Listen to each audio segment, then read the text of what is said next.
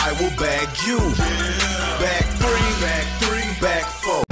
Yes, man, it really is me.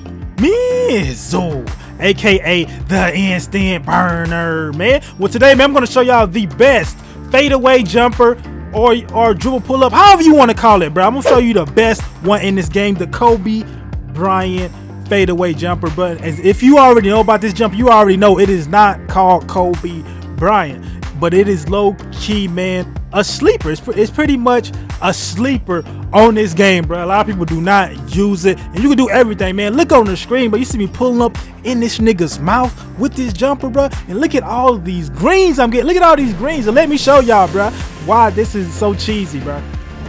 Let me show y'all my off the dribble, bro.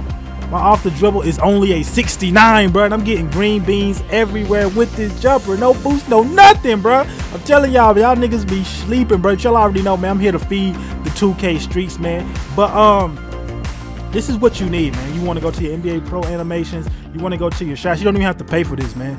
And the one that you want, bro, you want the dribble pull up Elite 2.